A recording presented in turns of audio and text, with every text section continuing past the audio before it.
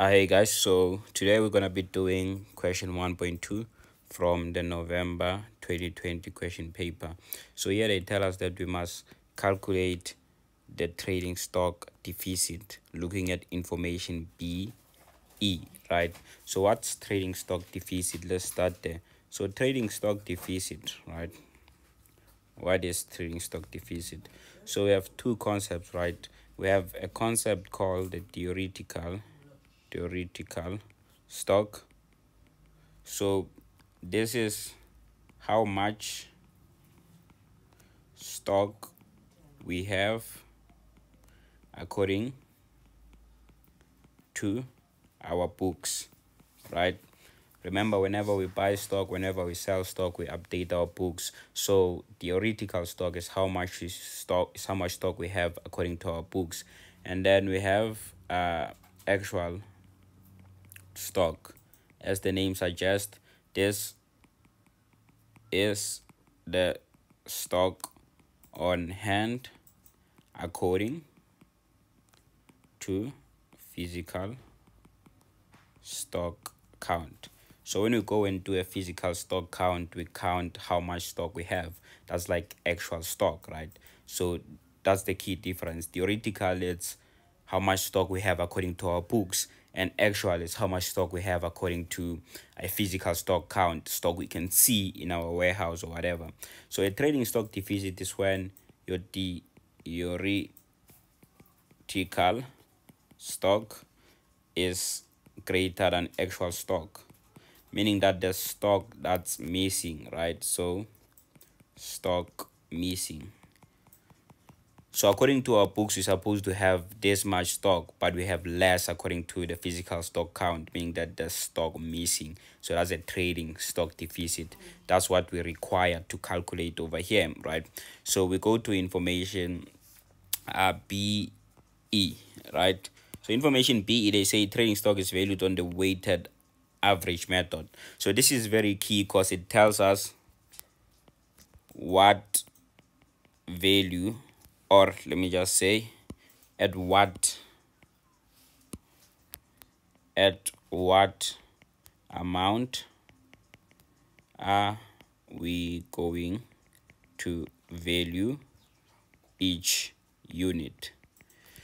So weighted average method basically tells us at what amount are we going to value each unit right? So we go to they say the ledger account and records reflect 280 units. So this is your theoretical stock. So this is how much stock we have according to our books. We have 280 units right? And they say however the physical stock count reflects 262 on hands. You see that actual stock. So now you see that okay your theoretical it's 280 which is greater than your actual which is 262 therefore you have a trading stock deficit. For how many units? When you say 280 minus 262 is equal to just take my calculator. So you say 280 minus 262 that's 18 units. So we have a trading stock deficit or 18 units missing right? So now we have to go and value those 18 units at how much or, or at what value do we value this 18 units? How at, at at what value right? So we need to go and calculate a cost per unit and we're going to use the weighted average method. So with weighted average method what we basically do is we look for the total value of uh, the stock that's available for sale during the year. So how you get that total value is basically this value of the stock that was there at the beginning you add all the stock that was purchased and then you subtract the returns. So the returns are returns to supplier right? So the stock that we return to supplier. So overall the available stock for sale was at a value of 8 100 8 million 100,000 and those were 2000 units. So when you say 200 minus this one 840 no 200 plus 1840 minus this one you get this 2000 which is the available for sale stock. And then you go and say okay that means your cost per unit is equal to the total value which is 8 million 100,000 over the 2000 units right?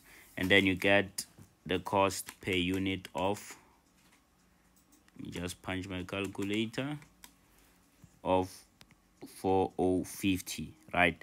Therefore your trading stock deficit is at a value of those 18 units times the 4050 and then you get 72 900 so this is the total value of the trading stock deficit or the stock that's missing. Thank you for watching. Make sure that you subscribe you like and then you comment. Tell me what you think. And if you want to join my master classes make sure that you click on the link below to join the whatsapp group. And if you want to book for the exclusive master classes also click on the link below and you'll get the link to the exclusive master classes. Thank you. And one last thing i forgot to mention is this trading stock deficit is going to go to your income statement income statement under uh, your operating expenses as trading stock deficit because it's a loss. You lost money as this stock is missing. It has been stolen or anything.